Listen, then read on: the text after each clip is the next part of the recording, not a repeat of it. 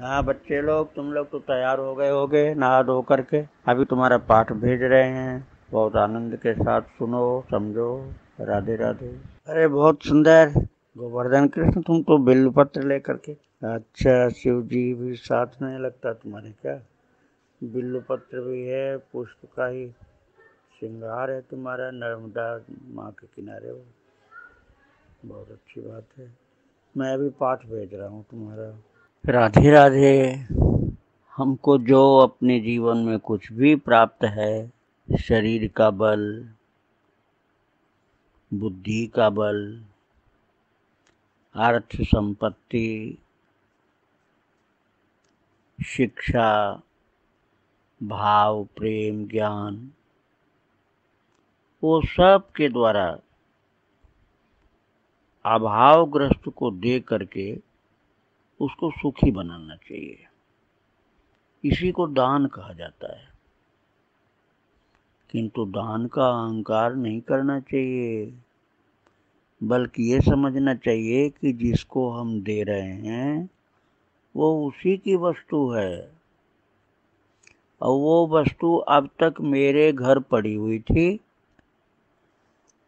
आज हमने उसकी वस्तु उसको दे दिया। तो इसमें हमने कोई बहुत बड़ा काम नहीं किया। उसका सामान उसको दे दिया। अब तक नहीं दिए थे वो हमारी गलती थी। अर्थात आज हम उसके ऋण से मुक्त हुए। उसका ऋण था हमारे ऊपर, आज हम उसके ऋण से मुक्त हो गए। उसको दे दिया तो उसके ऋण से मुक्ति मिल गई। अब वो हम उसकी कृपा माने कि उसने अपनी चीज़ आकर के हमसे ली। हमको उसके पास नहीं जाना पड़ा। हम कहाँ तक खोजते उसको?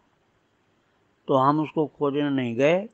वो खुद ही आकर के कृपा करके अपना सामान ले गया। ऐसा भाव मन में बनाने से सात्विकता बढ़ती है। और यदि हम ऐसा सोचेंगे कि अरे मैंने उसको दिया, अपनी चीज़ इतना दिया उसके पास क्या था? वो तो बिल्कुल कंगला था, भिखारी था। और मैं बहुत धनवान हूँ, मैंने दिया। तो ऐसा सोचने से तमोगुण बढ़ता है। तमोगुण से अज्ञान बढ़ जाता है। और यदि हमने भाव भक्ति प्रेम से उसको दिया तो सतोगुण बढ़ता है तो ज्ञान बढ़ता है, जिससे शीतलता मिलती है, आनंद मिलता है।